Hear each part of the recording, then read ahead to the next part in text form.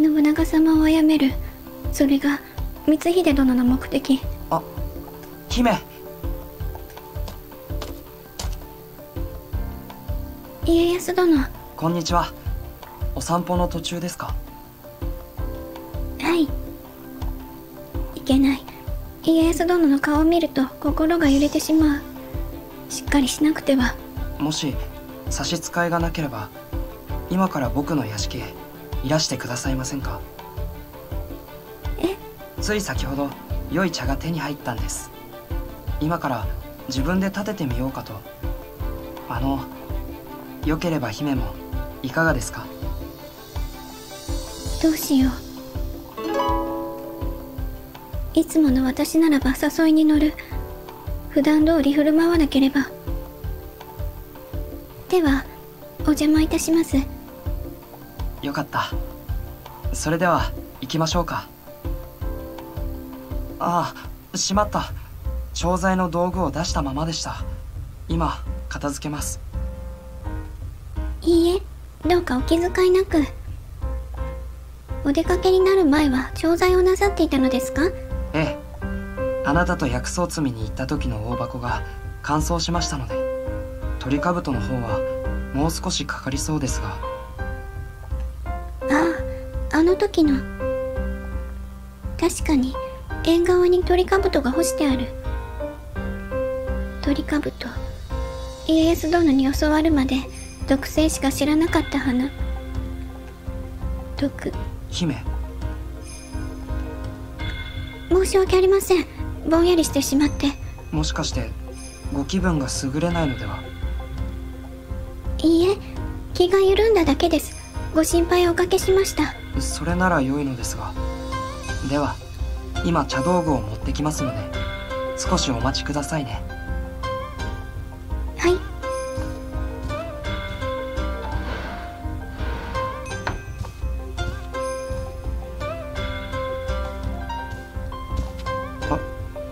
れ光秀殿。ああ家康殿。ちょうどよかった今取り継いでもらうところだったのです。では私はこれで。そそうだ。そうでした。今日は光秀殿がいらっしゃるご予定だったものを僕と来たらすっかり忘れて。良いのですよ。時も指定せず大まかな約束を取り付けただけでしたから。それで今はご都合が悪いのでしょうか。あの実は今桔梗姫もいらしているんです。これから茶を振る舞おうかと。おやそれはそれは。妹がよくしていただいているようで。いいえよくしていただいているのは僕の方です。よろしければ光秀殿も共に茶をいかがでしょうか。確かご用件は宴における徳川の席次でしたよね。茶を服しながらお話を。良いですね。お邪魔にならないのならぜひ。じゃ邪魔などととんでもないです。こうしてみるとトリカブトもただの根。これを毒と見るか薬と見るか。そのことが家康殿と忍びである私との埋めがたい溝に思えてならない背後で物音。家康殿に兄様。やあ桔梗。ちょうど兄様も家康殿に用があってね。悪いけれど邪魔をするよ。あの姫今どうして縁側に？縁側に出たのは不用意だった。何と答えれば勝手ながら庭を拝見していました。よく手入れがされていると思って。そうでしたか。気に入っていただけたなら嬉しいです。ではお二人とも茶を立てますのでしばらくお待ちくださいね。相も変わらず家康殿の茶は絶品だったね。足を運んでよかったよ険しい顔で縁側に立つ誰かさんを見た時には何事かと思ったけれど。しかも家康殿によるとあそこに干されていた植物はトリカブトとのこうかつな動きをして申し訳ありませんでした。おやどうして謝るのかな。私は怒ってなどいないよ。むしろ褒めてあげたいくらいだ。え君への指示を変更する。宴で苦内を投げなくてもいいよ。毒を用いることに決めたからね。苦内より確実で危なげのない方法でしょ。君と家康殿のおかげで思いつくことができたよ。そうと決まったら君にはトリカブトを入手してもらわないと。ああ家康殿の屋敷から拝借するなんてことはやめなさい。足がついたら困るからね。言われなくともそんなことできるはずがない。家康殿が薬を作るために積んだ薬草を暗殺の道具に使うなど。もう一度山に入って取ってくればいい。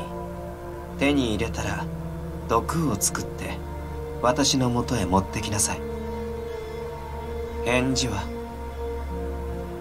承知しました。あっ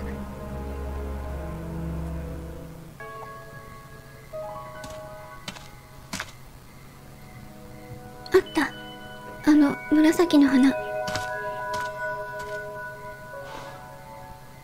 以前家康殿とこの場所へ来た時には夢にも思っていなかった。一人でまた鳥兜を積みに来るなんて。それも家康殿が盟友と慕う人を殺すために。信長殿の目指す未来に戦乱の終わりがあるのならお力になりたい。太平こそ僕だけでなく日の本の民全員の夢ですから。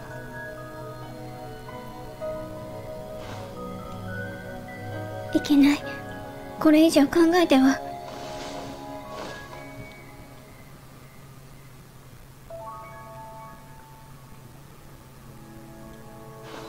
うん。これがトリカブトの粉末か。ご苦労様。いえ。予定通りに事が運ぶとは限らない。毒殺の詳しい方策については当日に話すよ。宴が始まる間際に女房の姿に変化して厨房脇の部屋まで来なさい。承知しました。では失礼いたします。気分が悪い。少し外の風に当たりたい。あ姫こんにちは。家康殿。二の丸にご用でしょうか？はい。姫を誘いに参りました。天気が良いのでまた琵琶湖などへご一緒できないかと今家康殿と二人きりになるのは。姫なんだかお元気がないような。あの少し気分が優れなくて風に当たりに出たところなのです。それはお体をいたわらなければ。ありがとうございます。外の空気を吸ったら随分と良くなりました。ではよろしければ庭園でゆっくりと日に当たられてはいかがでしょう。あそこには良い風が吹き渡ります。きっとご気分も癒されましょう。ですが琵琶湖は？琵琶湖はまた姫の体調が良い時にでもお誘いします。今はお邪魔でないならそこの庭園までご一緒させていただけませんか？お体が辛ければ僕が手を引いて。家康殿あ申し訳ありません。ずうずうしかったでしょうか？いいえではお願いいたします。あのどうぞ。おつかまりください。ありがとうございます。夏の庭は青々として力強いですね。なのにどこか柔らかい。はい小鳥などは清らかな花が姿を消してしまって寂しそうですがその分鳥たちの綺麗な色が庭によく映える。ですからこの季節は庭を訪れるのがとりわけ楽しみでずっと眺めていたくなるんです。この穏やかで平和な景色をずっと。平和な景色。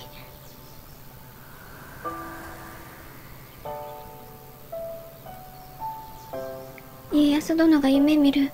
太平の世ではこんな穏やかな景色が城の外にも広がるのだろうか。いや太平な世はならない。少なくとも家康殿の願う形では。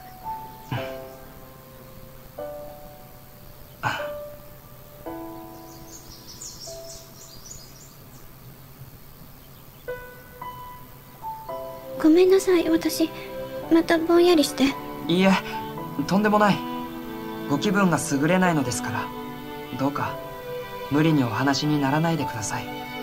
僕は姫が隣にいてくださるだけで嬉しいです。失礼ながら僕にとってあなたはそのお守りのような方なので。お守り？はいそばにいていただけると安らいで心を強く持てる尊いお守りのような願わくは僕もあなたにとっていいえ今の僕では高望みに過ぎませんがけれど僕がこの足で前に進め強くなれたその暁には、もっとあなたに近づけたらとそう願わずにいられません。家康殿。澄み切った行為まっすぐな信頼が伝わってくる。キラキラ光るようなこの人の思いを私は裏切らなければならない。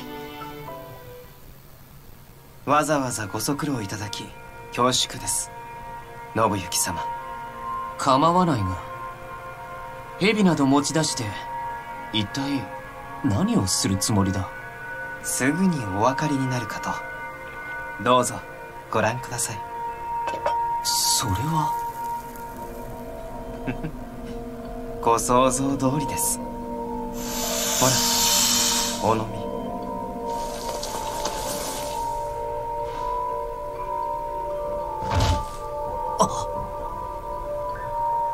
立ちどころに事切れたトリカブトの毒です。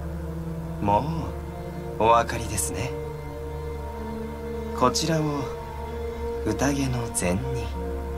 毒味のものを買わせなくてはならないがそこはお任せを。良い案がございますゆえ。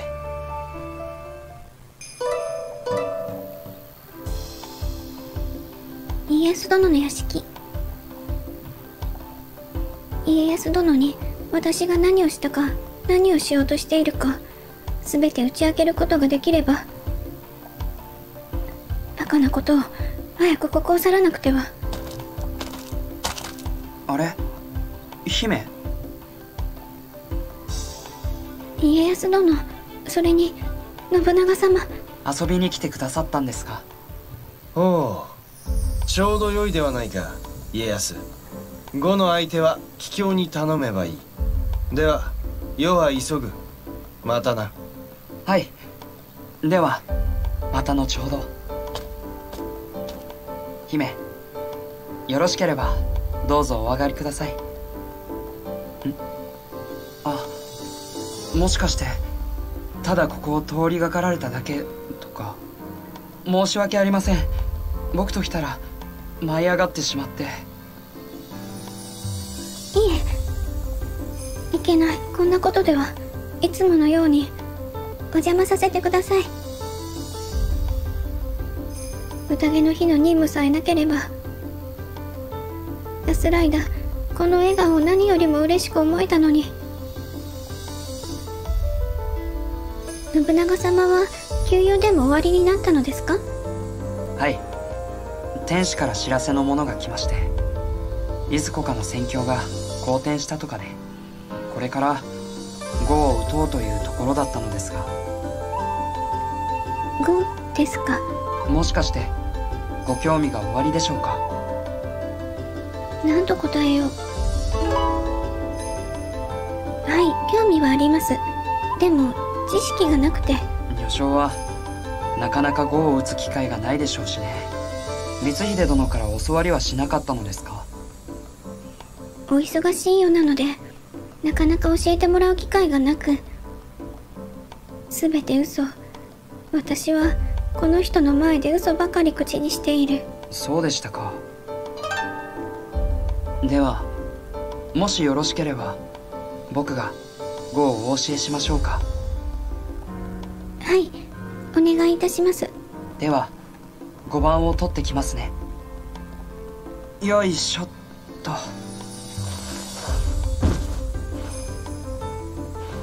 姫5番の近くに来ていただいてもいいですか？はい。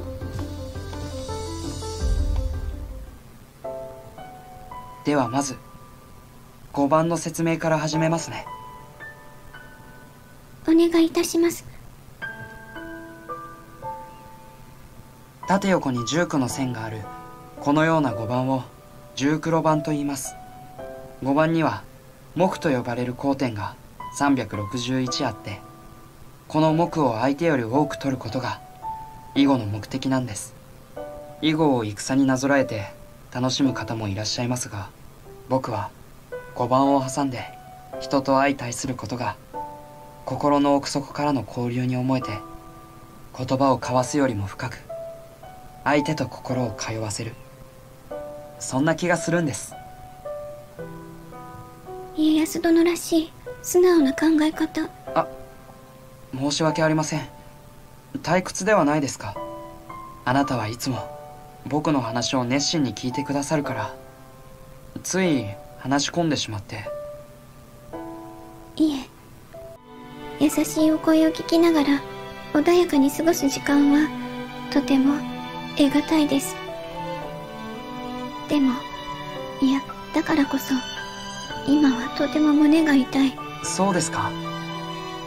ありがとうございます。でではよろしければ続きを。碁石の数は黒が181個で。家康殿とこんな静かな時間を持つのもきっとこれで最後。これで最後。